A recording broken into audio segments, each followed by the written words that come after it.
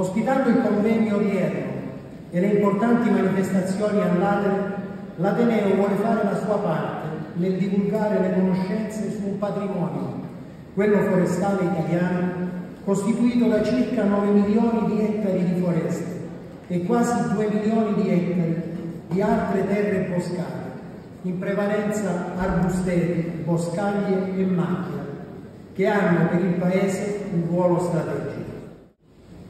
A distanza di qualche giorno, dunque, in quest'Aula Magna Cristelli si torna a parlare di ambiente e questo, laddove fosse necessario, ci fa comprendere come la Mediterranea guardi all'ambiente con una particolare attenzione, tanto da riservare a questa tematica un interesse trasversale che viene declinato nelle diverse aree che la compongono. L'Ateneo con la giornata odierna si fa quindi nuovamente partecipe di azioni rivolte alla conoscenza e alla gestione sostenibile delle risorse ambientali e naturali. Anche